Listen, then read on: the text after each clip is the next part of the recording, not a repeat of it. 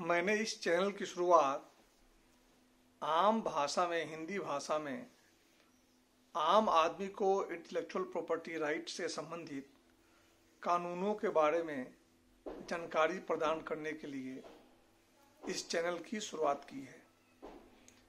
इस चैनल की शुरुआत करने से पहले मेरे दिमाग में अनेक नाम आए। जैसे IP lane IP street IP city बहुत सारे शब्द आए। फिर मैंने सोचा, क्यों न एक ऐसे शब्द का निर्माण किया जाए, जो आज के डेट में अस्तित्व में ही ना हो।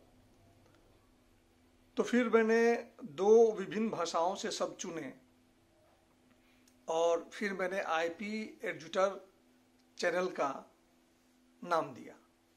तो आईपी का मतलब है इंटेलेक्चुअल प्रॉपर्टी और एडजुटर एक लैटिन शब्द है, जिसका मतलब है सहायक असिस्टेंट तो ये जो दो शब्द हैं, आज तक किसी भी डिक्शनरी में, किसी भी भाषा में आईपी एडिटर अस्तित्व में नहीं है एग्जिस्ट नहीं करता है.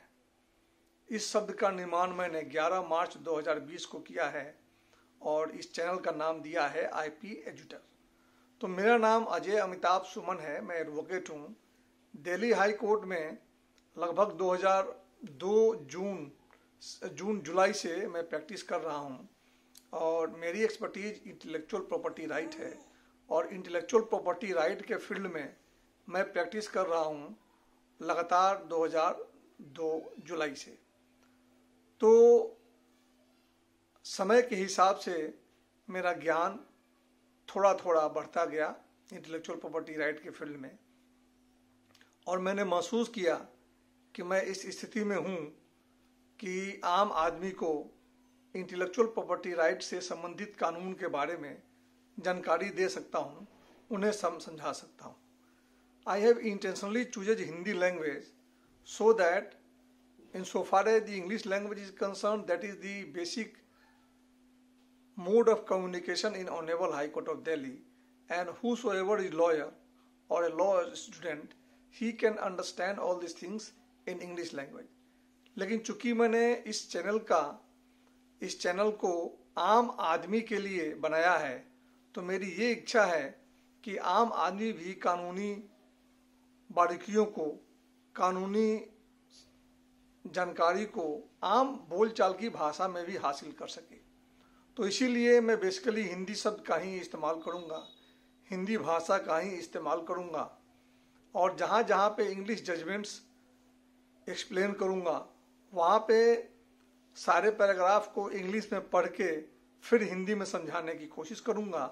इससे जो आम आदमी है, उसको समझने में सुविधा होगी। तो दोस्तों, आपका आईपी एडिटर चैनल पर स्वागत है और उम्मीद करता हूँ कि आने वाले दिनों में आप लोगों को इंटेलेक्चुअल प्रॉपर्टी राइट से संबंधित अनेक जजमेंट बारखियों से जो basically honourable high court of Delhi और भारत के अन्य ट्रिब्यूनल्स सुप्रीम कोर्ट आदि से पास होते हैं उनसे आपको जानकारी मिलती रहेगी। तो आप लोगों से अनुरोध है इस चैनल को सब्सक्राइब कर लें और बेल आइकन भी दबा दें ताकि जितने भी मैं नए नए वीडियो डालूं उसके संबंधित में उसके संबंध में आपको जानकारी सबसे मिल, पहले मिलता रहे। धन्यवाद दोस्तों आपका इस चैनल पे धन्यवाद। स्वागत है।